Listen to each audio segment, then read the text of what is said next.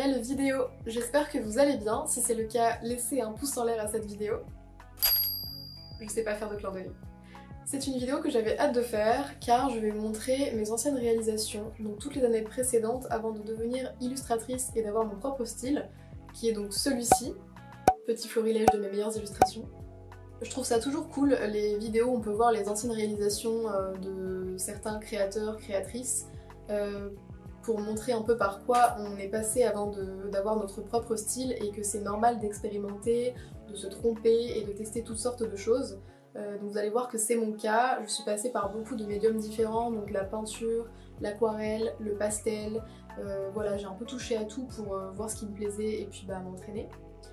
Euh, voilà, donc on va un peu plonger dans les archives tous ensemble. Donc je vous ai fait une petite sélection, euh, j'ai profité d'un moment où je passais chez mes parents pour prendre en photo euh, d'anciennes créations. Donc évidemment j'ai sélectionné celles que je préfère, mais vous allez voir qu'il y aura aussi des fails, c'est-à-dire des créations que j'aime pas forcément énormément, mais voilà, qui marquent un passage dans ma vie de créatrice. donc c'est aussi important de le montrer. Donc il faut savoir que j'ai commencé à prendre des cours d'art plastique euh, en primaire, en CE2 je crois, euh, et ce jusqu'à la fin du lycée, donc à peu près 10 ans quand même. Voilà. Donc on va commencer par ça, ce que j'ai réalisé durant mes cours d'art plastique. Euh, donc évidemment j'ai pas pris les toutes premières réalisations, étant en primaire c'est pas non plus les plus intéressantes je trouve. voilà, mais je vous ai fait une petite sélection. Donc c'est parti alors, on commence avec ce petit colibri euh, qui est donc fait, je crois, au pastel gras sur du papier craft. Euh, voilà, donc celui-là, il doit dater peut-être euh, de la fin primaire, début collège, je pense. donc lui, je l'aime beaucoup déjà pour les couleurs. Et puis, bah, j'aime beaucoup les colibris, je trouve ça très joli comme animal. Je crois que c'était l'une des premières fois où je maniais le pastel gras. C'est pas hyper facile de mélanger les couleurs, il me semble. Le sexe, c'est assez galère aussi, parce que ça en fout partout. Ensuite, je vous ai mis cette création. Alors là, c'est aussi du pastel, mais c'est aussi du pastel sec. Et finalement, je pense que j'en étais pas trop mal sortie. Un fond un peu flouté, qui était pas évident à faire également. Et ouais, non, j'étais assez contente. Donc euh, ça, c'était inspiré d'une photo. Et le défi, c'était un peu les drapés. Euh, voilà, les drapés noirs. Ensuite, c'est donc un portrait masculin. Euh, alors, si on zoome dessus, en fait, on se rend compte que ce portrait est fait avec des écritures, plein de mots mis ensemble, et ça a été fait à l'encre. Euh, et je crois que j'avais écrit masculin, très recherché.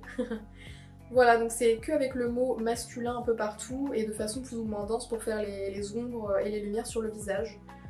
Ensuite, euh, on a ce magnifique pissenlit alors, celui-là, il a été fait sur euh, une affiche publicitaire arrachée. Donc c'est assez cool, c'est faire un côté un peu destroy. Il est un peu plus grand qu'un A3 je crois. Et le truc c'était de dessiner au stylo big dessus, de faire ce qu'on voulait comme représentation. Donc moi j'ai choisi de faire un pissenlit euh, parce que je trouve ça très joli aussi. Et puis c'était un peu un défi technique à faire au stylo bille. Les illustrations au stylo sont vraiment assez longues et minutieuses. Euh, et franchement, encore une fois, j'espère que je vais pas vous dire ça trop souvent, mais je suis assez fière de cette illustration. Je trouve que c'est aussi le genre de dessin, comment dire, un peu arnaque parce qu'en fait quand on regarde précisément c'est beaucoup de traits euh, à droite à gauche donc c'est pas non plus si difficile que ça à faire je trouve mais voilà, j'étais vraiment contente. Euh, il faut savoir que la plupart des créations que j'ai fait durant les cours d'art plastique, euh, en fait c'est des thèmes que nous donnait notre prof, euh, des thèmes ou des, défis à relever. Donc voilà, c'est elle qui nous disait quoi faire. Alors ensuite, j'ai pris cette illustration, alors je crois que c'est à l'encre, c'est pas l'aquarelle, c'est à l'encre, donc c'est encore un peu différent à maîtriser. voilà, donc c'est un paysage un peu provençal, provincial, provençal. Euh, donc voilà, avec des couleurs quand même assez pétantes, c'est un peu une particularité de l'encre, euh, on peut avoir des couleurs assez vives. Euh, voilà, tout simplement, je sais pas quoi dire de plus. Alors ensuite, on passe à la peinture. J'ai fait pas mal de peinture durant ces cours d'art plastique. Alors la peinture à l'huile, je trouve que c'est une galère. J'aimais pas du tout, ça ne sent pas très bon, c'est vraiment pas facile à manier. Euh, ça sèche pas très vite donc euh, on peut bien mélanger. C'est un peu le but de la peinture à l'huile par rapport à de la peinture acrylique. Mais voilà, c'est vraiment pas facile à maîtriser et, puis on s'en fout partout. Bon voilà. Mais bon, euh, durant ces cours j'ai quand même pu tester cette peinture et j'ai essayé de faire bah, des trucs pas trop mal quoi. Donc cette peinture là, c'est une figue avec des gouttes d'eau. Donc voilà, là le défi c'était de représenter les gouttes d'eau en fait. Et ouais, c'est vraiment pas facile. En fait, c'est vraiment un jeu d'ombre et de lumière. Et pareil, quand on regarde de près, on voit que c'est vraiment des taches de peinture. Mais c'est un peu ça aussi la magie euh, de ce genre de peinture là, c'est que de loin ça rend vachement bien. Et de près on voit un peu euh, la technique en fait. C'est super bon les filles. Alors ensuite on a cette peinture là, c'était une peinture collage. Le but en fait c'était d'imiter du collage papier. C'était un défi multiple en fait, à la fois pour imiter le papier déchiré et puis bah, pour représenter ce qu'il y avait dans les morceaux. J'avais choisi de représenter des choses qui, me plaisaient beaucoup et que je trouvais jolies, donc euh, les bulles. Les bulles franchement c'est un défi très cool à faire euh, à la peinture mais c'est vraiment pas facile. Alors euh, ensuite on passe à des réalisations durant les cours d'art plastique. Donc il y en a quelques-unes, c'est les cours d'art plastique du collège et ensuite on passe aux cours d'art plastique du lycée où là j'ai pu faire des trucs assez cool que j'aimais beaucoup. Donc on a cette petite sauterelle, euh, donc celle-ci c'était au collège. Voilà, le but c'était de représenter quelque chose euh, de la façon la plus précise et réaliste possible avec différents médiums. Donc voilà. Alors ensuite, eh ben, en fait j'ai sélectionné qu'un truc des cours d'art plastique euh, du collège, voilà. Je pense qu'il y avait quelques autres trucs mais bon, j'ai trouvé vraiment pas terrible et intéressant.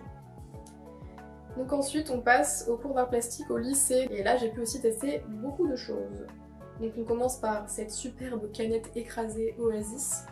Euh, donc ici vous pouvez vous en douter, le défi c'était de représenter encore une fois euh, un objet de la façon la plus réaliste euh, possible.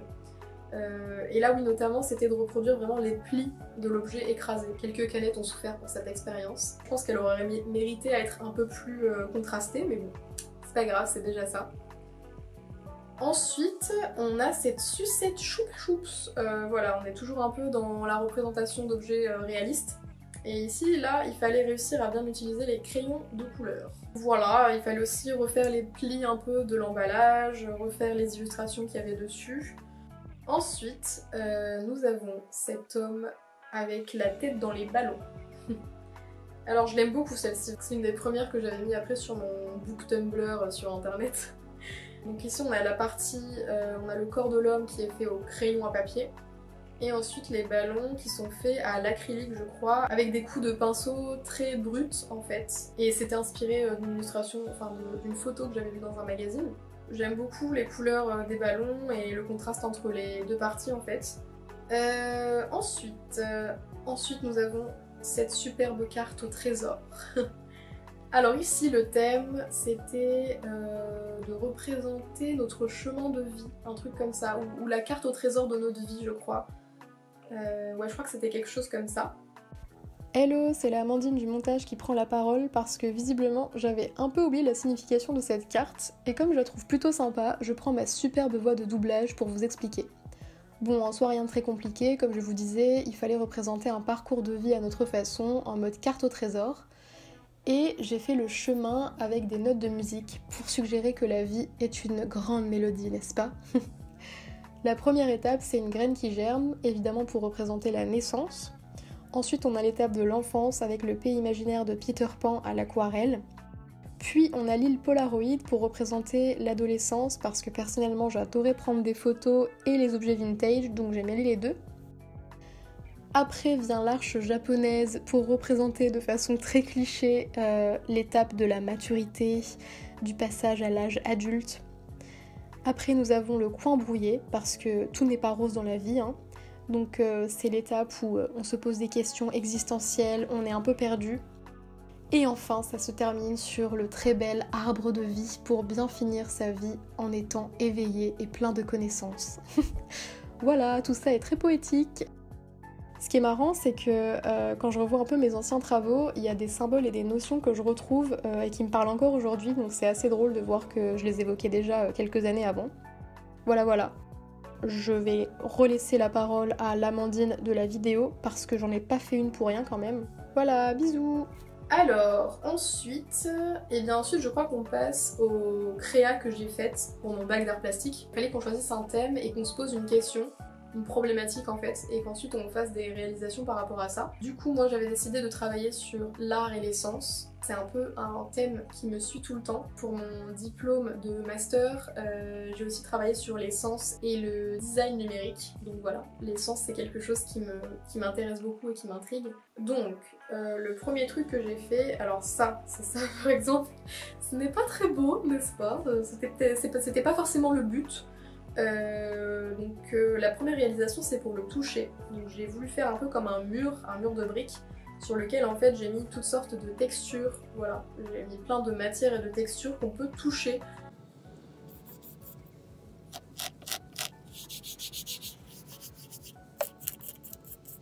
Ensuite, euh, bon alors ça non plus c'est pas un truc de ouf. le sens le plus dur à faire c'était le goût pour moi. Du coup j'ai imaginé un gâteau un peu, un peu comme un vitrail. Voilà, euh, donc j'ai fait un espèce de sablé géant et j'avais mis des bonbons. Et du coup bah, au four ils ont fondu. Ça faisait un peu un vitrail, hein. la lumière elle passait à travers et tout, donc bah, c'était joli. Bon après en tant que gâteau il est pas hyper beau. Hein. Mais voilà, dites-vous que j'avais ramené ça pour mon bac d'art plastique que je passais dans un autre lycée. Et d'ailleurs je me souviens que je l'ai mangé à la fin de l'épreuve. Voilà. Ensuite on a la réalisation pour euh, Louis. Alors Louis, bon en vrai j'aurais pu pousser le truc vachement loin, hein. mais en fait j'ai juste fait une illustration qui rappelle les bruits donc euh, en fait j'ai fait un paysage avec des notes de musique pas ouf, je crois que j'étais pas hyper inspirée pour celle-là. Ensuite euh, on a la vue. Alors la vue je me suis éclatée à faire différentes paires de lunettes. Voilà, je trouvais ça drôle. Il y avait une paire de lunettes pour chaque sens. Et par contre les lunettes 3D c'est quoi? Ah Ouais les lunettes 3D c'est le toucher parce que toi ça met les trucs en 3D, t'as l'impression que tu peux toucher les choses. Et la dernière paire de lunettes, c'est pour moi le sixième sens, parce que j'ai aussi traité l'histoire du sixième sens. Et ensuite, en avant-dernier, donc on a la réalisation pour l'odorat justement. Donc bah, là, j'ai représenté toutes sortes de fioles de parfum. J'aime bien celle-là parce que bah, j'ai fait vraiment des fioles assez différentes. Il y en a qui étaient assez dures à faire techniquement, notamment la celle que vous voyez qui, est un peu, euh, qui a une forme un peu moderne, un peu tordue. Et donc les reflets, je les ai fait au de couleur. Sur chaque flacon de parfum, j'avais mis une petite languette avec du vrai parfum à sentir, voilà, comme les languettes qu'on vous donne en parfumerie. Voilà. Et enfin, il y avait le sixième sens. Euh, voilà, le sixième sens que je ne saurais expliquer, mais pour moi c'est peut-être une intuition, un truc un peu psychologique qu'on n'explique pas, enfin voilà. Du coup, le sixième sens, je l'ai représenté avec une tâche je crois que c'est le test de Rorschach. Rorschach, c'est dur à dire. Euh, c'est le fameux test euh, en psychologie où on, vous montre des tâches à l'encre, faites à l'encre et euh, on vous demande à quoi ça vous fait penser.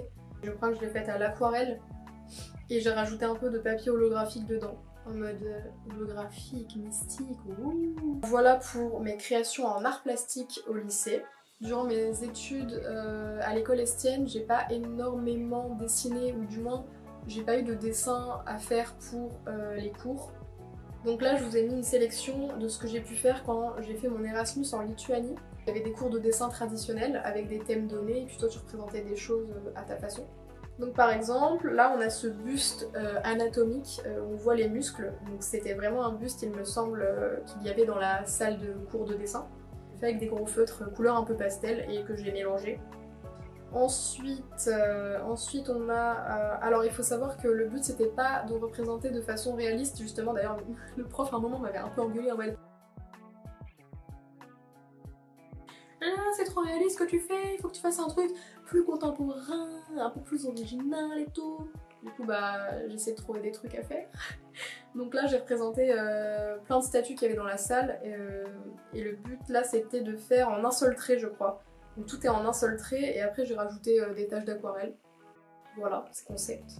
Ici, j'ai représenté toutes sortes de toiles les unes avec les autres sur lesquelles il y a des motifs très différents. Voilà.